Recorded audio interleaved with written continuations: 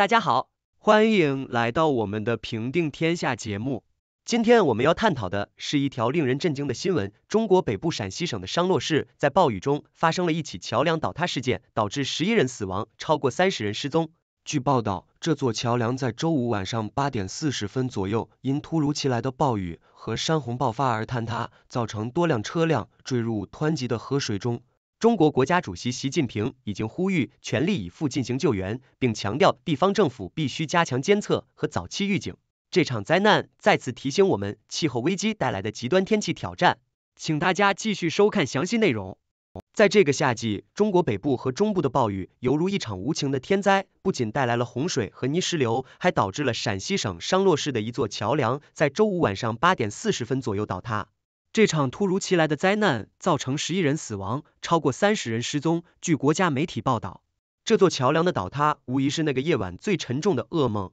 新华社援引省公共关系部门的消息称，这座桥梁在暴雨和山洪爆发的双重夹击下瞬间崩塌。国家广播电视台中央电视台 CCTV 报道，近二十辆车辆和超过三十人仍然下落不明。已确认的十一名遇难者是在从水中打捞出的五辆车内发现的。CCTV 表示，国家电视台的画面显示，桥梁的一部分被淹没，河水湍急的流过桥面。一名目击者告诉当地媒体，他曾接近桥梁，但其他司机开始对我大喊，让我刹车停车。我前面的一辆卡车没有停下来，掉进了水里。这名目击者说。中国国家主席习近平对此灾难表示高度关注，并呼吁全力以赴寻找仍然失踪的人。CCTV 报道，自周二以来，中国北部和中部的大部分地区遭受了暴雨的袭击，导致洪水和重大损失。周五，国家媒体报道，暴雨导致陕西省宝鸡市发生洪水和泥石流，至少五人死亡，八人失踪。国家电视台播放了被泥水淹没的社区画面，挖掘机和居民试图清理损坏。与陕西相邻的半沙漠省份甘肃和中国中部的河南，本周也遭遇了暴雨。在河南南阳市，据 CCTV 报道，周初降雨量相当于一年的降雨量。在西南部的四川省，据新华社报道，周五暴雨引发山体滑坡，造成两人死亡，七人失踪。这场灾难无疑揭示了中国在面对极端天气时的脆弱性。中国正经历一个极端天气的夏天，东部和南部地区经历了暴雨，而北部大部分地区则在连续的热浪中煎熬。气候危机使这类极端天气变得更加频繁和强烈。今年五月，中国南部一条高速公路在连续多日的降雨后坍塌，造成四十八人死亡。本月早些时候，一场龙卷风袭击了中国东部的一个小镇，造成一人死亡，七十九人受伤，并造成重大损失。在这个令人心痛的事件中，中国国家主席习近平敦促全力进行救援。据 n i k Asia 报道，习近平在周五陕西省西北部发生的这起高速公路桥梁坍塌事件后，强调了救援工作的迫切性。事故发生在周五晚上八点四十分，地点位于商洛市。由于突发洪水导致高速公路桥梁坍塌，一些车辆掉入河中。截至周六上午十点，已有五辆车确认掉入水中，并有三十人报告失踪。国家媒体表示。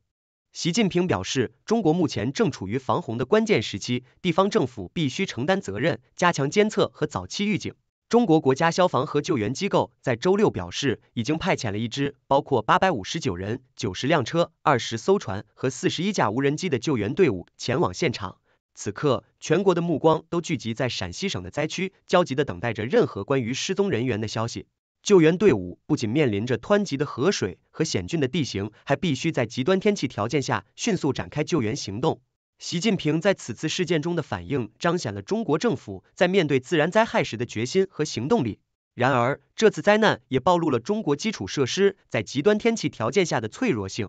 尽管中国在过去几十年中取得了显著的经济发展，但如何提升基础设施的抗灾能力，仍然是一个重大挑战。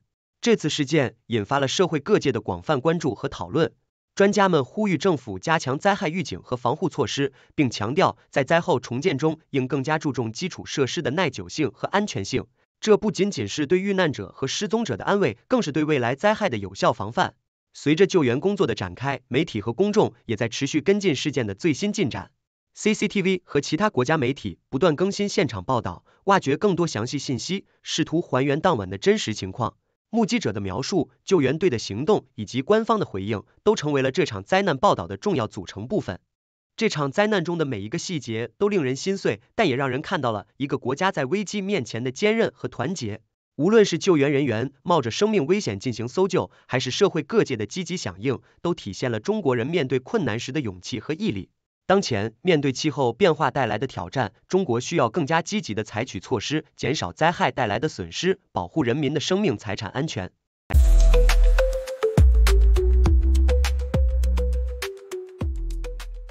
请大家继续收看节目第六度百科，对关键内容进行背景介绍。暴雨中桥梁倒塌，数人丧生。暴雨引发的洪水在中国北部陕西省商洛市造成一座桥梁倒塌。据国家媒体报道，此次灾难导致至少十一人死亡，超过三十人失踪。事故发生在周五晚上八点四十分左右，当时突如其来的暴雨和山洪爆发，导致桥梁无法承受洪水的冲击而垮塌。根据新华社报道，省公共关系部门提供了这一消息。在倒塌的桥梁事故中，当时有近二十辆车辆和超过三十人卷入洪水中。中央电视台 CCTV 报道，已确认的十一名遇难者是在从水中打捞出的五辆车内发现的。现场的画面显示，桥梁的一部分被淹没，河水湍急的流过桥面。目击者的一些描述显示，当时情况十分危急。一名目击者回忆说，曾经接近桥梁，但被其他司机喊住，要求刹车停车。一辆未停下的卡车最终掉入水中。中国国家主席习近平在事故发生后呼吁全力以赴寻找仍然失踪的人员。自周二以来，中国北部和中部大部分地区遭受暴雨袭击，导致洪水和重大损失。根据周五的国家媒体报道，暴雨已经导致陕西省宝鸡市发生洪水和泥石流，至少五人死亡，八人失踪。国家电视台播放了被泥水淹没的社区画面，挖掘机和居民试图清理损坏。与陕西相邻的甘肃省和中国中部的河南省也在本周遭遇了暴雨。据 CCTV 报道，在河南南阳市，周初的降雨量相当于一年的降雨量。四川省在周五也因暴雨引发山体滑坡，造成两人死亡，七人失踪。中国目前正经历一个极端天气的夏天，东部和南部地区经历了暴雨，而北部大部分地区则在连续的热浪中煎熬。气候变化使这类极端天气变得更加频繁和强烈。今年五月，中国南部一条高速公路在连续多日的降雨后坍塌，造成四十八人死亡。本月早些时候，一场龙卷风袭击了中国东部的一个小镇，造成一人死亡，七十九人受伤，并造成重大损失。中国习近平敦促全力救援，因高速公路桥梁坍塌造成十一人死亡。北京路透社据国家媒体报道，中国国家主席习近平在陕西省西北部发生的一起高速公路桥梁坍塌事件后，敦促全力进行救援。这起事故已经造成十一人死亡。该事故发生在周五晚上八点四十分，地点位于商洛市。由于突发洪水导致高速公路桥梁坍塌，一些车辆掉入河中。截至周六上午十点，已有五辆车确认掉入水中，并有三十人报告失踪。国家媒体表示，习近平在事故后强调，中国目前正处于防洪的关键时期，地方政府必须承担责任，加强监测和早期预警。中国国家消防和救援机构表示，已经派遣了一支包括八百五十九人、九十辆车、二十艘船和四十一架无人机的救援队伍前往现场。中国习近平敦促救援行动，公路桥梁坍塌致十一人死亡。北京路透社据国家媒体报道，中国国家主席习近平在周五发生于中国西北部陕西省的公路桥梁坍塌事件后，敦促全力展开救援行动。这起事故已造成十一人死亡。事故发生在周五晚上八点四十分，地点位于商洛市。由于突发洪水导致一座公路桥梁坍塌，一些车辆因此坠入河中。截至周六上午十点，已有五辆车辆确认坠入水中，并有三十人报告失踪。国家媒体表示，习近平在事件发生后表示，中国目前正处于防洪的关键时期，地方政府必须承担责任，加强监测和早期预警。中国国家消防和救援机构在周六表示，已派遣一支包括八百五十九人、九十辆车辆、二十艘船只和四十一架无人机的救援队伍前往现场。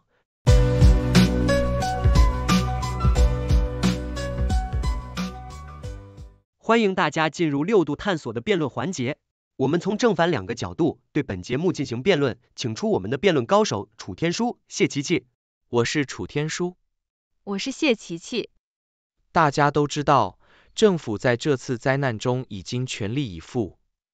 看看国家主席习近平的迅速反应，他敦促地方政府强化监控和预警，还派遣了大规模救援队伍。这不是一国之君的风范，是什么？楚天舒，你说的好像这次坍塌是天灾，完全与人无关似的。这桥梁的设计与维护就没有问题吗？如果早有防范，怎么会让暴雨一来就像豆腐渣工程一样塌了？这可是人祸呀！谢琪琪，你说的好像你是建筑专家一样。桥梁的设计和维护当然重要，但这次的暴雨量可是超过了历史记录。就像唐朝的安史之乱，谁能预见这样的灾难呢？楚天舒，别拿历史来压人了。你说的唐朝安史之乱，那可是人祸，和这次的桥梁坍塌一样。再说，气候变化早有预警，政府难道没有责任提前准备吗？堤坝、排水系统这些都做的不够吧？谢琪琪，你说的好像政府什么都没做似的。事实上，救援队伍在事发后迅速到达现场，无人机、水陆两用车全部派上，这效率堪比春秋战国时期的战国七雄，哪有你说的那么不堪？楚天舒，我承认救援的效率确实不错，但这能掩盖事前预防的不足吗？如果一开始就有完善的监控和预警系统，这些生命本来可以避免牺牲。这就像治病，事后补救再好，也不如预防来的重要啊！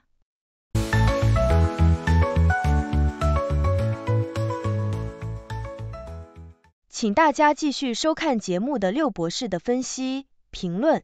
哎呀，这次的桥梁倒塌事件真是让人揪心。就在陕西省商洛市，暴雨和山洪携手合作，上演了一场水上大灾难。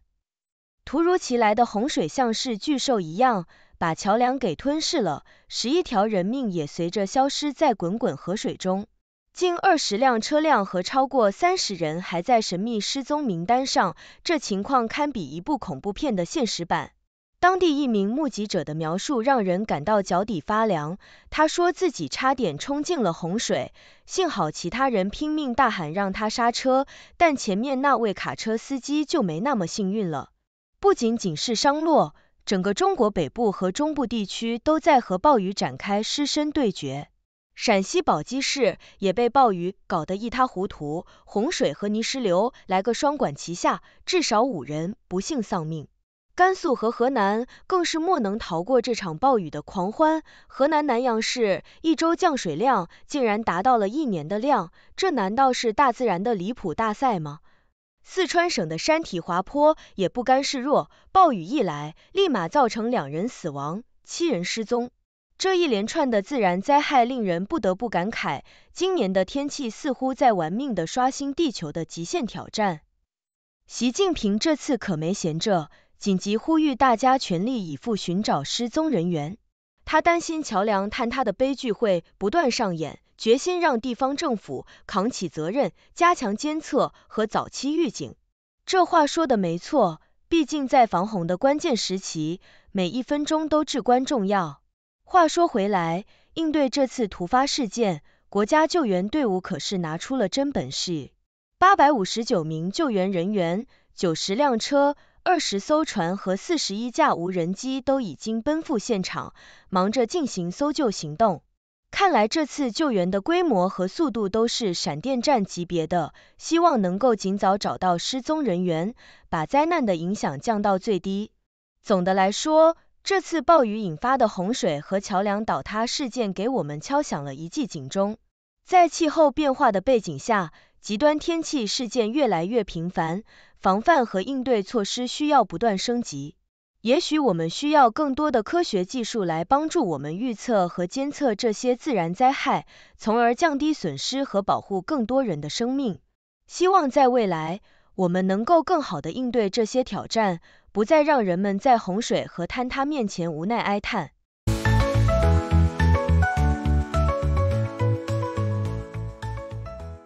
谢谢大家收看六度探索。这是一个由科学家、经济学家、媒体人、工程技术人员合作建立的新型媒体。网友与六度 AI 参与合作完成各种内容，这些内容不能作为任何决策或法律的意见。这是一个新型的试验性媒体方式，我们希望得到大家的支持，修正错误。网友可以参与讨论，也可以向万能的六博士提出你能想出的任何问题。六度世界网址是六 do world，请介绍给你的亲朋好友。